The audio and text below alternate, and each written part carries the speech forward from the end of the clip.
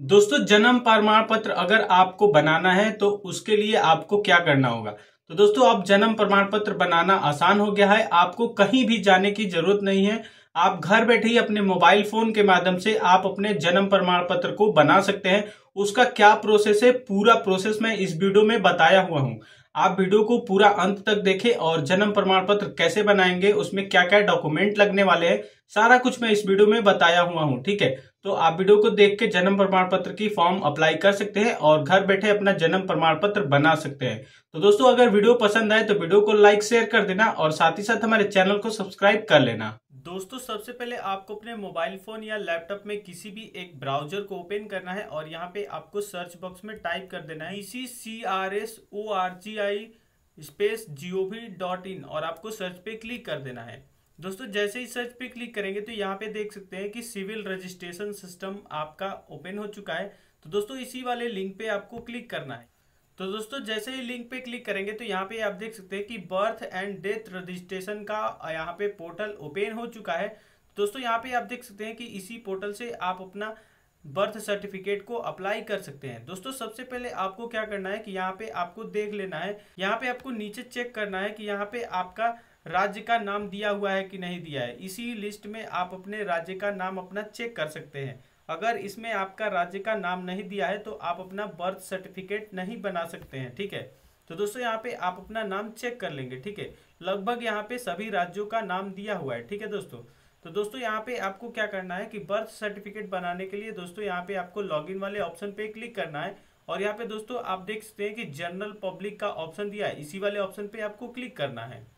दोस्तों, यहाँ पे क्लिक करेंगे तो यहाँ पे आप देख सकते हैं कि यहाँ पे आपको लॉगिन करने के लिए आपसे ईमेल आईडी और मोबाइल नंबर पूछा जा रहा है। तो दोस्तों यहाँ पे आप ईमेल आईडी या मोबाइल नंबर डाल के लॉगिन कर सकते हैं, ठीक है? तो दोस्तों अगर आप इस पोर्टल पे पहली बार हैं तो दोस्तों यहाँ पे आपको सबसे पहले यहाँ पे आपको रजिस्ट्रेशन करना होगा। तो दोस्तों रजिस्ट्रेशन करने के लिए यहाँ पे आपको साइन अप वाले ऑप्शन पे क्लिक करना है और यहाँ पे देख सकते हैं कि यहाँ पे आपको पाँच स्टेप में आपका रजिस्ट्रेशन करना है, ठीक है? दोस्तों यहाँ पे देख सकते हैं कि जनरल इन्फॉर्मेशन आपको देने होंगे। तो दोस्तों यहाँ पे आप अपना फ़र्स्ट नेम भरेंगे, मिडिल नेम भरेंगे, लास्ट नेम भरेंगे और दोस्तों यहाँ पे आप अपना जेंडर सेलेक्ट करेंगे और फिर आपको यहाँ पे डेट ऑफ़ बर्थ भरना है, ठीक है? डेट ऑफ़ बर्थ भरने के बाद यहाँ पे आपको नेक्स्ट पे क्लिक करना है, ठीक है?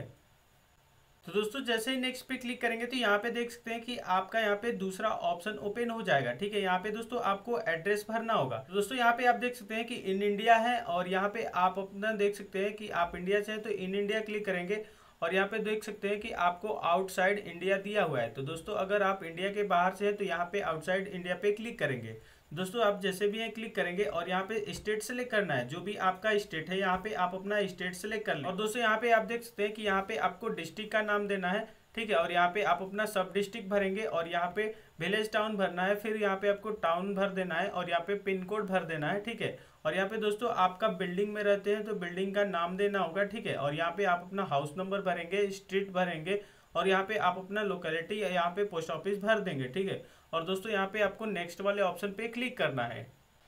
दोस्तों यहाँ पे देख सकते हैं नेक्स्ट पे क्लिक करने के बाद यहाँ पे देख सकते हैं कि आधार नेंड नेशनलिटी आपको यहाँ पे सेलेक्ट करना है तो दोस्तों यहाँ पे आप अपना आधार नंबर भरेंगे और यहाँ पे नेशनलिटी आप सेलेक्ट कर लेंगे जो भी आपका नेशनलिटी है यहाँ पे डाल देंगे और यहाँ पे आधार नंबर भर के यहाँ पे कैप्चा कोड लगाना है और यहाँ पे नेक्स्ट पे क्लिक कर देना है। और दोस्तों, यहाँ पे देख सकते हैं कि यहाँ पे आपको अपना वेरीफाई मोबाइल नंबर का ऑप्शन दिया हुआ है तो यहाँ पे आपको मोबाइल नंबर भरना है और यहाँ पे सेंड ओटीपी पे क्लिक कर देना है। तो दोस्तों, यहाँ पे देख सकते हैं कि यहाँ पे आपका मोबाइल नंबर पे ओटीपी चला गया है, उस ओटीपी को यहाँ पे आपको भरना है, ठीक है? और यहाँ पे आपको वेरीफाई वाले ऑप्शन पे क्लिक कर देना है। तो दोस्तों, मेरा फ़ोन नंबर वेरीफाइड हो चुका है। पहले से मैंने एक डेमो के तौर पे किसी मोबाइल नंबर को डाला हुआ है और यहाँ पे दोस्तों आप नेक्स्ट पे क्लिक करेंगे वेरीफाई कर देंगे। आपका रजिस्ट्रेशन कंप्लीट हो जाएगा, ठीक है? और आपको फिर से लॉगिन वाले ऑप्शन पे क्लिक कर लेना है, ठीक है? और आपको लॉगिन कर लेना है। तो आइए मैं आपको लॉगिन करके बता दे रहा हूँ। तो दोस्तों यहाँ पे देख सकते हैं कि लॉगिन पेज ओपन हो चुका है और यहाँ पे दोस्तों आपको मोबाइल नंबर डालना है और कैप्चा कोड भरने के बाद यहाँ पे लॉगिन वाले ऑप्शन पे क्लिक करना है।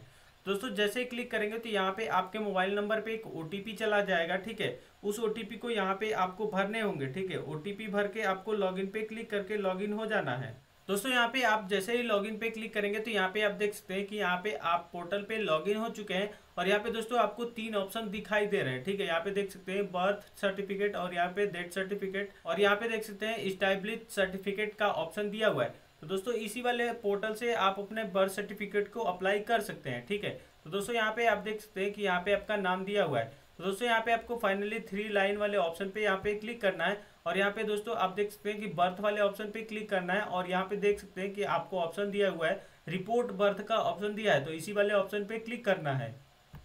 तो दोस्तों, यहाँ पे देख सकते हैं कि यहाँ पे आपको चार स्टेप में आपको अपना बर्थ सर्टिफिकेट अप्लाई करना है। तो दोस्तों यहाँ पे आपको फॉर्म भरने के लिए लॉगिन हो चुके हैं ठीक है तो इसी फॉर्म को आपको भरना है दोस्तों यहाँ पे देख सकते हैं कि बर्थ रजिस्ट्रेशन का ऑप्शन दिया हुआ है तो दोस्तों यहाँ पे आप देख सकते हैं कि लीगल इन्फॉर्मेशन आपको देने होंगे दोस्तों यहाँ पे देख सकते हैं कि यहाँ पे आपको पूछा जा रहा है प्लीज़ सेलेक्ट योर स्टेट दोस्तों यहाँ पे आपको अपना स्टेट सेलेक्ट कर लेना है जो भी आपका स्टेट है यहाँ पे स्टेट सेलेक्ट कर लेंगे ओके दोस्तों यहाँ पे देख सकते हैं चाइल्ड इन्फॉर्मेशन देना होगा तो दोस्तों आप जिसका भी बर्थ सर्टिफिकेट बना रहे हैं उसका यहाँ पे जन्म तिथि यहाँ पे भरेंगे ठीक है और यहाँ पे दोस्तों फिर से यहाँ पे कन्फर्म जन्म तिथि पे क्लिक करके कन्फर्म जन्म तिथि कर लेना है और यहाँ पे दोस्तों आपको टाइम सेलेक्ट करना है कि टाइम क्या था आपके जन्म के टाइम ठीक है जो भी आपका टाइम था यहाँ पे सेलेक्ट कर लेंगे भर लेंगे ठीक है और दोस्तों यहाँ पे आपको अपना लिंक सेलेक्ट करना है जो भी आपका महिला पुरुष है वो यहाँ पे सेलेक्ट करेंगे और यहाँ पे आपको अपना आधार का ऑप्शन सेलेक्ट करना है यहाँ पे दोस्तों आपको अपना आधार सेलेक्ट कर लेना है और यहाँ पे दोस्तों आप अपना आधार नंबर भर देंगे ठीक है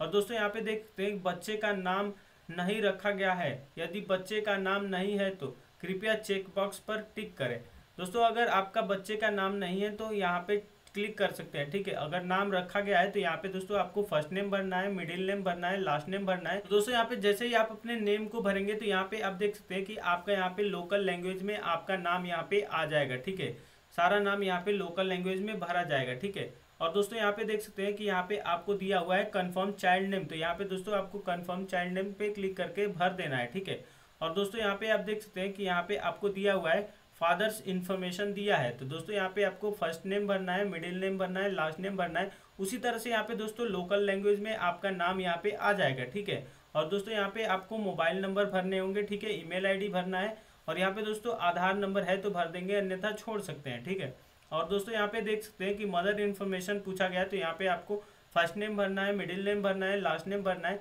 उसी तरह से दोस्तों यहाँ पे भी आपका लोकल लैंग्वेज में नाम आ जाएगा। यहाँ पे मोबाइल नंबर भरना है ईमेल आईडी भरना है, यहाँ पे आधार नंबर है तो भर देंगे, अन्यथा छोड़ सकते हैं, ठीक है? और दोस्तों यहाँ पे देख सकते हैं कि बच्चे के जन्म का समय माता पिता का पता पूछा जा रहा है। तो यहाँ पे इन इंडिया है या आउटसाइड इंडिया है तो दोस्तों आपको अपने अकॉर्डिंग सेलेक्ट करना है और यहाँ पे आपको अपना राज्य भरना है। फिर यहाँ पे डिस्ट्रिक्ट भरना है यहाँ पे सब डिस्ट्रिक्ट भरना है यहाँ पे विलेज भरना है ठीक है विलेज से है टाउन से जो भी है भरना है ठीक है और यहाँ पे आपको ग्रामीण शहरी जो भी है आप भर लेंगे यहाँ पे पिन कोड भरना है यहाँ पे आपको अगर बिल्डिंग में रहते हैं तो बिल्डिंग नेम भरना है ठीक है और यहाँ पे दोस्तों आपको हाउस नंबर भरना है यहाँ पे स्ट्रीट भर देना है यहाँ पे अपना लोकेलिटी भरेंगे ठीक है पोस्ट ऑफ़िस भर सकते हैं तो दोस्तों इसी तरह से आपका यहाँ पे भी लोकल लैंग्वेज में आपका सारा डिटेल्स आ जाएगा ठीक है और दोस्तों, यहाँ पे आप देख सकते हैं कि आपका परमानेंट एड्रेस पूछा जा रहा है, ठीक है? तो यहाँ पे दोस्तों, आप देख सकते हैं माता पिता का स्थायी पता पूछा जा रहा है। तो अगर आपका पहला वाला ही एड्रेस है तो यहाँ पे आपको यस पे क्लिक करना है, अन्यथा यहाँ पे नो पे क्लिक करेंगे, ठीक है?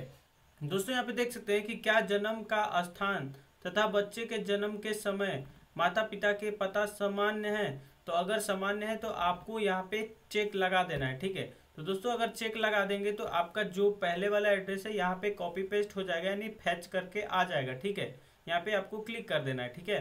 और दोस्तों, यहाँ पे आप देख सकते हैं कि यहाँ पे आपका ग्राम पंचायत भी आ चुका है, ठीक है? और यहाँ पे दोस्तों, आपको फाइनली क्या करना है कि सेव पे क्लिक कर देना है, और यहाँ पे आपको फाइनली नेक्स्ट वाले ऑप्शन पे क्लिक करना है ओके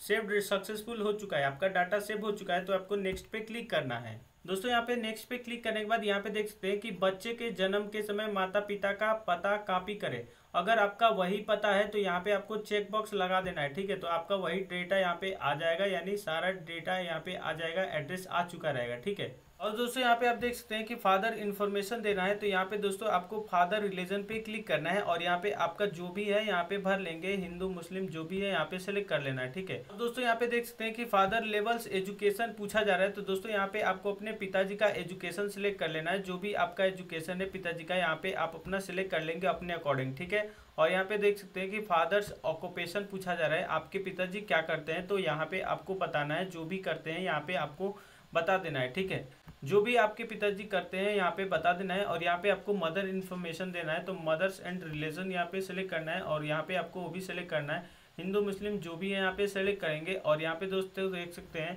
दोस्तों यहाँ पे आप देख सकते हैं कि मदर्स लेवल ऑफ़ एजुकेशन पूछा जा रहा है तो यहाँ पे आपको माता जी का एजुकेशन बताना है जो भी आपके माता जी का शिक्षा है वहाँ यहाँ पे सेलेक्ट कर लेंगे और यहाँ पे दोस्तों मदर ऑक्यूपेशन यहाँ पे बताना है आपको ठीक है जो भी आपके माता जी कामकाज करती है यहाँ पे आपको बता देना है ठीक है और दोस्तों यहाँ पे देख सकते हैं कि यहाँ पे अदर इन्फॉर्मेशन यानी अन्य सूचना यहाँ पे आपको भरने होंगे, ठीक है? दोस्तों यहाँ पे देख सकते हैं कि विवाह के समय माता की आयु पूर्ण वर्षों में यदि एक से अधिक बार विवाह हुआ हो तो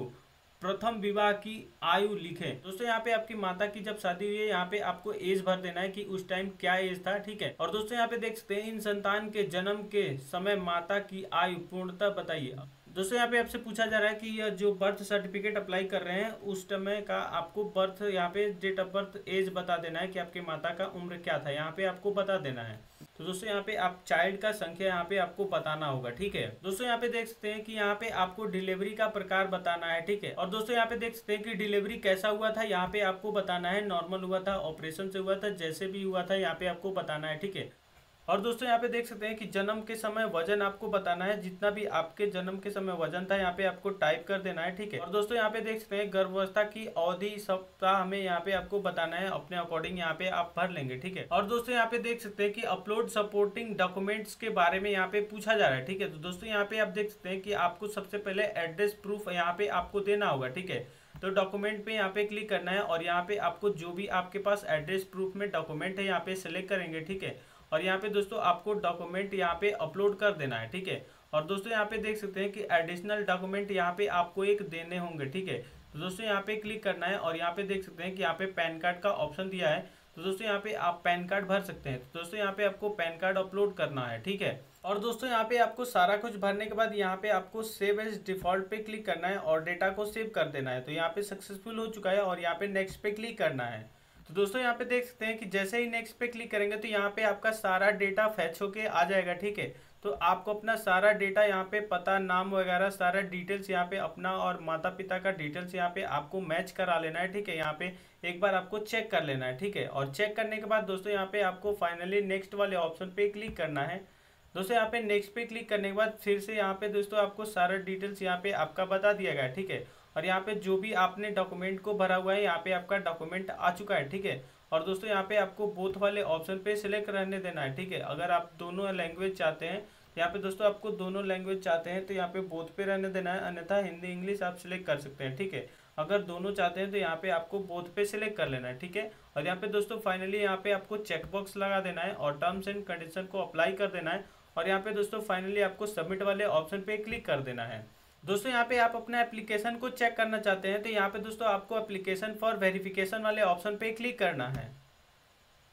दोस्तों, यहाँ पे क्लिक करेंगे तो यहाँ पे आप देख सकते हैं कि यहाँ पे आपका रेफरेंस नंबर आ चुका है एप्लीकेशन नंबर यहाँ पे मिल चुका है, ठीक है? आपका टाइप बता दिया गया है और यहाँ पे डेट आप बताया गया है कि आप किस डेट में आप अपने फॉर्म को फिलअप करें ठीक है? और यहाँ पे स्टेटस आपका बता दिया गया ठीक है? दोस्तों, यहाँ पे आप सारा चीज़ यहाँ पे इसी पोर्टल से चेक कर सकते हैं। दोस्तों, आपका जन्म प्रमाण पत्र अगर बन जाएगा तो इसी पोर्टल से आप अपने जन्म प्रमाण पत्र को डाउनलोड भी कर सकते हैं। तो दोस्तों, इस सबसे आप अपने फॉर्म को फिलअप कर सकते हैं और घर बैठे ही अपना जन्म प्रमाण पत्र बना सकते हैं। तो दोस्तों, उम्मीद करता हूँ कि ये वीडियो आपको पसंद आई होगी। अगर वीडियो पसंद आई हो तो वीडियो को लाइक करना अपने दोस्तों में शेयर करना और साथ ही साथ हमारे चैनल को सब्सक्राइब कर लेना। दोस्तों हमें दीजिए इजाज़त, मिलते हैं नेक्स्ट वीडियो के साथ। तब तक के लिए बाय, जय हिंद बंदे मातरम।